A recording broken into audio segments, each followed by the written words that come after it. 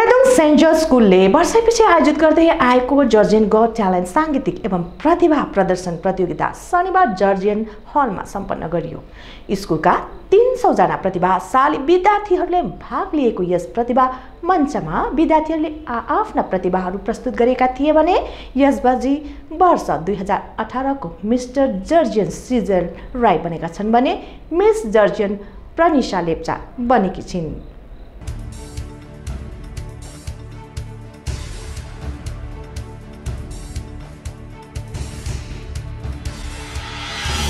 Father जोसेफद्वारा प्रार्थना गरिएपछि सुरु भएको कार्यक्रममा स्कुलका प्राचार्य father Francis Crasta father Michael father Charles प्रमुख रूपले उपस्थित रहेका थिए। स्कुलका सहशिक्षकहरू सुरेन ब्यानर्जी अनि डेभिड देसाद्वारा सञ्चालित कार्यक्रममा फेसन सो आधुनिक गीत तथा नृत्यहरू लोकनृत्य जर्जन आर्ट्स कविता वाचन जस्ता विधाहरूलाई लिएर स्कुलका रेड ब्लू ग्रिन अनि येल्लो हाउसका विद्यार्थीहरू माझ कडा प्रतिस्पर्धा भएको थियो भने प्रतियोगितामा निर्णायकको रूपमा बिक्कु दनाल अनि योजना काफे रहेका थिए।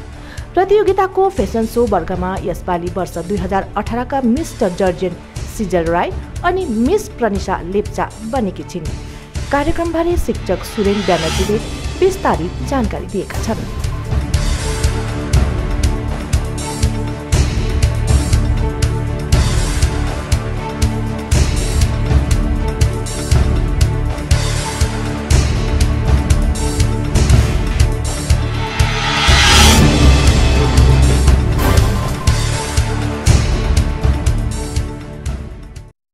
वर्ष अगाडिदेखि गर्दै आएको स्कुलमा।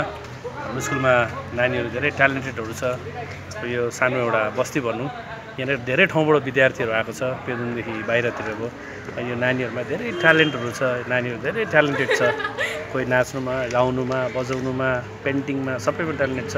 यो हिडन ट्यालेन्टहरूलाई चाहिँ हामीले एउटा प्लेटफर्म दिएर स्कुलले धेरै वर्ष अगाडिदेखि यो जर्जिन ट्यालेन्ट भन्ने प्रोग्राम सञ्चालन गरेर आएको थियो र आज यो Georgian got talent two thousand एटिनको आज हाम्रो यहाँ फाइनल सुसम्पन्न भयो जसमा आजको विशेष हाम्रो जजहरू हुनुहुन्थ्यो याचना काफले उहाँ कालिम्पोङबाट विकास दर्नाल उहाँ पनि डान्सको जज हुनुहुन्थ्यो साथै विलियम ब्यानर्जी सिङ्गिङको जज साथै अनि फादर जर्ज लेप्चा उहाँ पनि सिङ्गिङको लागि जज हुनुहुन्थ्यो।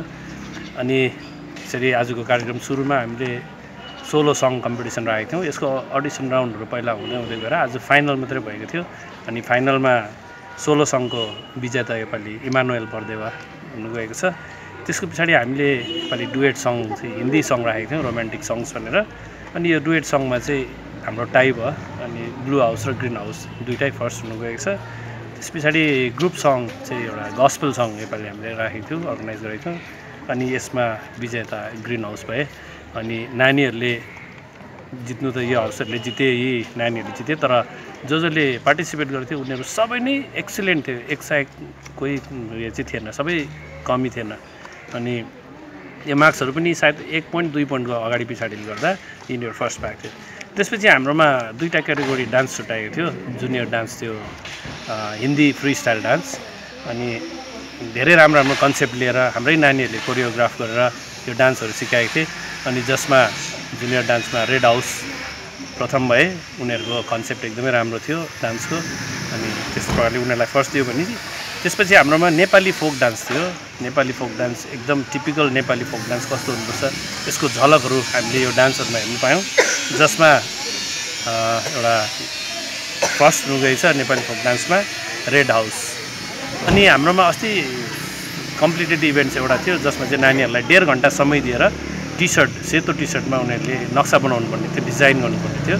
अनि त्यो डिजाइन गर्दाखेरि चारैवटा हाउसबाट पार्टिसिपेन्ट्सहरू थियो चारै हाउसको एकदमै ब्युटिफुल एकदम राम्रो बनाएको थियो। अन्त फर्स्ट चाहिँ भूपेन राई ग्रिन हाउसको यो टी सर्ट पेन्टिङको विनर भएको छ।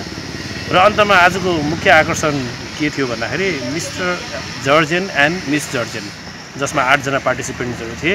उनीहरूको first round introduction round second round उनीहरूको ट्यालेन्ट राउन्ड अनि थर्ड राउन्डमा क्वेसन राउन्डहरू थियो।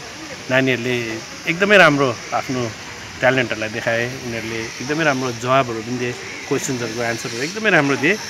अनि योपालि mister Georgian two thousand eighteen भएको छ। प्रनिस सृजल राई अनि miss Georgian two thousand eighteen भएको छ। प्रनिसा लेप्चा। यी नानीहरूलाई हामी अर्गनाइजरहरूबाट धेरै बधाई पनि दिन चाहन्छौँ।